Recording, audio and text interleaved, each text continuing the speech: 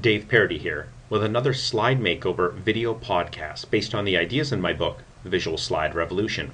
Today we're going to take a look at animation, and animation can be very helpful in helping our audience understand our message, but only if we use it appropriately.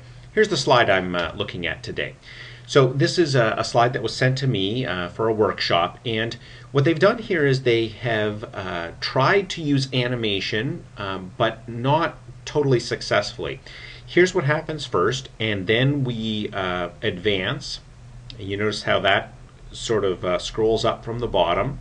The next one scrolls up from the bottom. The next one, the fourth one, and the final one.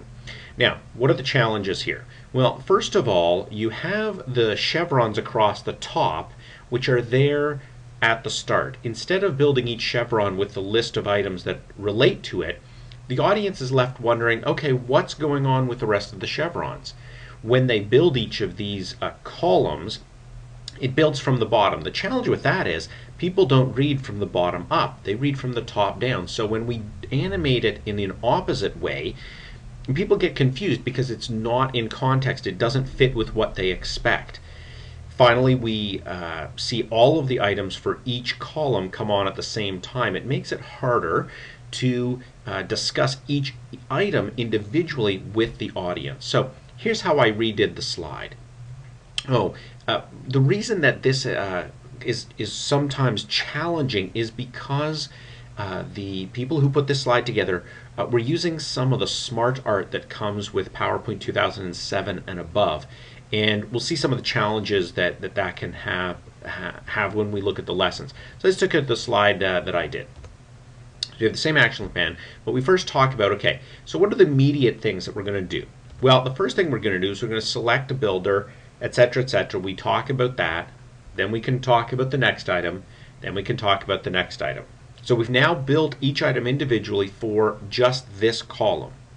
Then we say, okay, what are we going to do in the mid 2010 part of the, the plan? Well, first we do this, and then again, each one is built individually and discussed individually with the audience.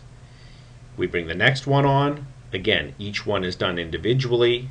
Bring the fourth one on, individual discussions, and our final one comes on and we have our two items that we talk about there. So what we've done here is we have built each uh, of the categories by putting the title in the chevron and then each item is individually built so we can have that discussion with the audience. It makes it far easier to understand. We build from top to bottom, which is what people expect. Now, because this was done with smart art, what I had to do is I actually had to break it apart, uh, break the items apart, ungroup them in order to do the animation properly.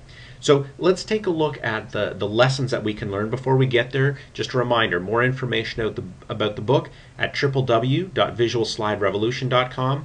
More information on my training, consulting, uh, other books, videos, other resources. My main website, www.thinkoutsidetheslide.com.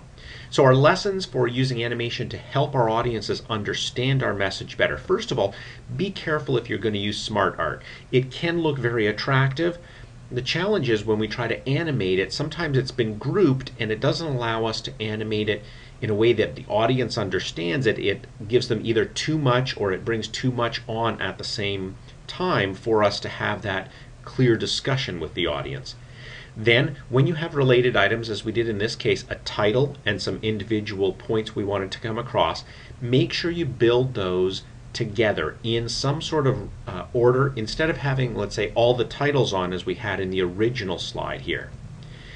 Movement is not something that you should just use because it looks fun. Use it only when it adds to the message. When they had those uh, uh, pieces of text flying up or, or sort of scrolling up from the bottom, there was actually no purpose to that movement.